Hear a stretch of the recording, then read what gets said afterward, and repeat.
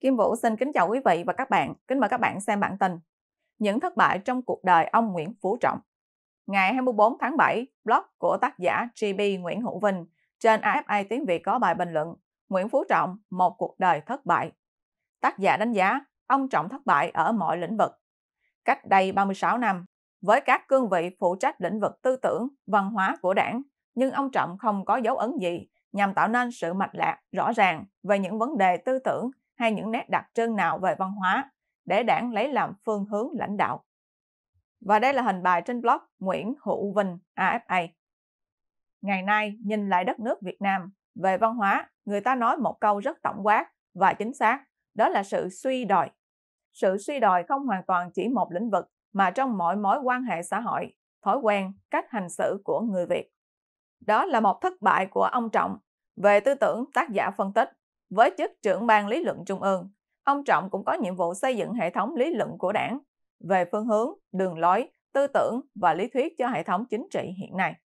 Tuy nhiên, ông đã bó tay khi thừa nhận rằng đến cuối thế kỷ này chưa chắc đã có chủ nghĩa xã hội.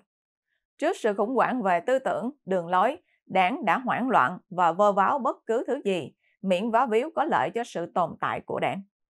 Tác giả cho rằng bản thân ông Trọng cũng hoang mang và lúng túng về vấn đề tư tưởng. Điển hình là dù luôn cao giọng làm người hãy là người cộng sản.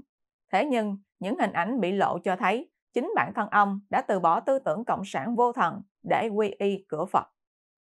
Và đây là hình Nguyễn Phú Trọng quy y cửa Phật. Về công cuộc chống tham nhũng, tác giả nhận định là một thất bại nữa của ông Trọng.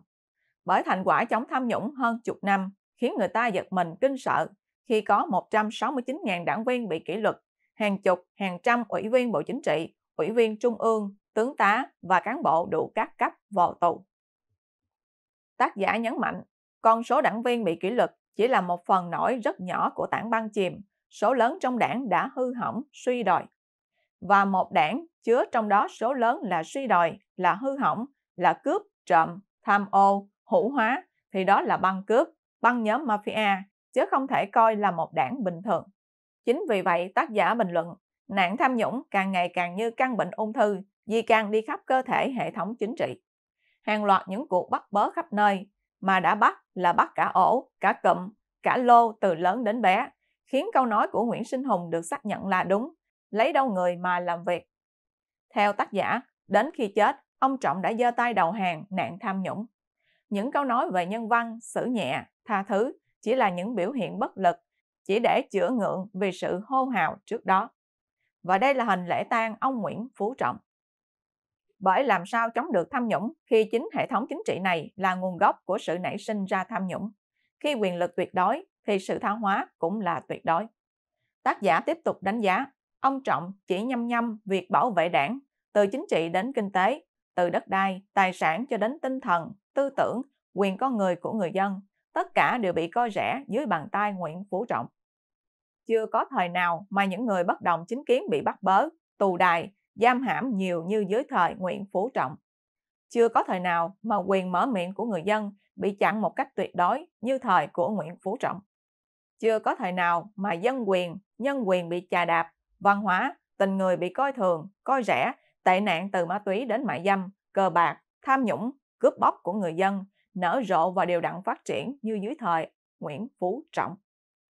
Chưa có thời nào mà hệ thống nhà tù của đảng chứa nhiều cựu đảng viên như hiện nay. Ở đó có đủ một bộ máy khổng lồ, hoàn chỉnh từ thấp đến cao cho một chính phủ nếu cần thiết. Đi kèm với hệ thống tù nhân, cựu đảng viên này là ngân khố đã thâm hụt hàng triệu, chục triệu tỷ đồng tiền máu xương của người dân. Đó là kết quả của hơn chục năm đứng đầu đảng để kiên quyết lựa chọn những người có tài, có đức vào đảng và trung ương của Tổng Trọng. Đó cũng là điển hình cho sự thất bại của cuộc đời Nguyễn Phú Trọng. Quý vị và các bạn đang xem chương trình trực tiếp của Kim Vũ với bản tin Những thất bại trong cuộc đời ông Nguyễn Phú Trọng. Xin mời quý vị và các bạn chia sẻ video này cho nhiều người biết và bấm nút theo dõi trên YouTube và Facebook của Thời Báo chấm đề để luôn được cập nhật bản tin mới nhất, nhanh nhất và trung thực nhất. Kim Vũ xin kính chào các bạn và hẹn gặp lại các bạn trong chương trình lần tới. Kim Vũ xin kính chào quý vị và các bạn, kính mời các bạn xem bản tin. Tô Lâm toan tính gì trong hoàn cảnh tứ bề thọ địch? Ngày 23 tháng 7, blog Lê Quốc Quân trên VOA tiếng Việt có bài bình luận Sao quốc tang là điều gì cho Tô Lâm? Tác giả cho biết, đã 4 năm kể từ sau cái chết của ông Lê Khả Phiêu, Việt Nam mới tổ chức một lễ quốc tang. Theo Nghị định số 105, đây là hình thức lễ tang cao cấp nhất dành cho cán bộ công chức, viên chức nhà nước, gồm 4 cấp, lễ quốc tang, lễ tang cấp nhà nước, lễ tang cấp cao và lễ tang cán bộ, công chức, viên chức. Trong thời gian tổ chức lễ quốc tang, quy cách, cờ rủ, số lượng vòng hoa, giải băng đen, địa điểm tổ chức lễ tang là nơi an táng đều được quy định theo nghị định. Tác giả cũng cho biết, ông Tô Lâm với tư cách là trưởng ban lễ tang sẽ đọc lời điếu và tuyên bố phúc mặc niệm, trong khi quân nhạc sẽ cử bài Hồn Tử Sĩ của cố nhạc sĩ Lưu Hữu Phước. Và đây là hình bài trên blog Lê Quốc Quân, VOA. Ông Trọng sẽ được mai táng tại Nghĩa trang Mai Dịch và vị vua tại vị hơn 13 năm sẽ trở về với lòng đất vô tri vào lúc 3 giờ chiều ngày 26 tháng 7. Tác giả nhận xét, ông Trọng được coi là nhà lãnh đạo có ảnh hưởng nhất trong lịch sử hiện đại của Việt Nam. Là tiến sĩ về xây dựng đảng, ông đã gây bất ngờ cho nhiều nhà quan sát chính trị khi loại được Thủ tướng Nguyễn Tấn Dũng để bước lên vị trí quyền lực tối cao vào năm 2016.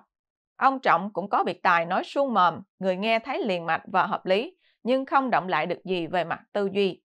Là sinh viên khoa văn, ông có thể thực hiện liên khúc. Nhiều chuyện nghe có vẻ sướng tai, nhưng ngẫm nghĩ kỹ thường lại xung đột lẫn nhau. Tác giả cho rằng, chính ông cũng đang lúng túng trong một mớ lý thuyết về chủ nghĩa xã hội, đang bị thực tiễn thách thức gây gắt. Lấy cảm hứng từ đã hổ diệt rồi của Tập Cận Bình, ông thúc đẩy một chiến dịch chống tham nhũng được gọi là đốt lò. Ông đã chỉ đạo hàng loạt cuộc điều tra, xét xử nhiều vụ tham nhũng lớn, đưa ra ánh sáng nhiều quan chức cấp cao. Và đây là hình cố Tổng bí thư Nguyễn Phú Trọng. Thế nhưng nỗ lực đập chuột nhưng tránh vỡ bình của ông đã là vô vọng vì chính chiếc bình sinh ra chuột và cuộc rượt đập này sẽ mãi mãi không bao giờ chấm dứt. Tác giả bổ sung, khi tiến hành đốt lò, ông Trọng rất cần một công cụ và thanh gươm mà ông sử dụng chính là Bộ Công an do Tô Lâm đứng đầu. Ông Tô Lâm giờ đây đã dựa vào thế đốt lò mà ra đòn với các nhân vật tiềm năng có thể thay thế ông Trọng.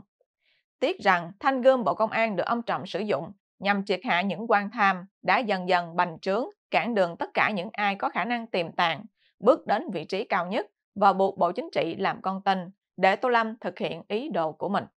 Tác giả cũng cho rằng với cương vị chủ tịch nước và là trưởng ban lễ quốc tang cho ông Trọng, Tô Lâm đang là người có quyền lực nhất và ứng viên sáng giá nhất cho chức danh tổng bí thư.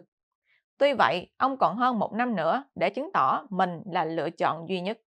Trước mắt, chắc chắn Tô Lâm sẽ tiếp tục công cuộc chống tham nhũng, đồng thời thực thi chính sách ngoại giao cây tre để duy trì thế chiến lược quân bình giữa Mỹ và Trung Quốc. Và đây là hình Chủ tịch nước Tô Lâm. Với chuyến xuất mã đầu tiên sang Lào rồi Campuchia, Tô Lâm khẳng định cam kết coi trọng mối quan hệ láng giềng hữu nghị của Việt Nam với hai nước anh em này và làm tăng xung đột với những lợi ích của Trung Quốc tại Campuchia qua kênh đảo Phù Nam Techno. Trong bối cảnh có quá nhiều kẻ thù trong và ngoài nước, liệu ông Tô Lâm có đủ bản lĩnh để đối phó hay không? Tác giả nhận định tất cả phụ thuộc vào sự khôn ngoan của ông Tô Lâm trong việc dàn xếp nội bộ. Theo đó, tuyệt đối phải hòa hoãn với cánh quân đội, giữ tình hòa hiếu được với bạn vàng phương Bắc và Hoa Kỳ.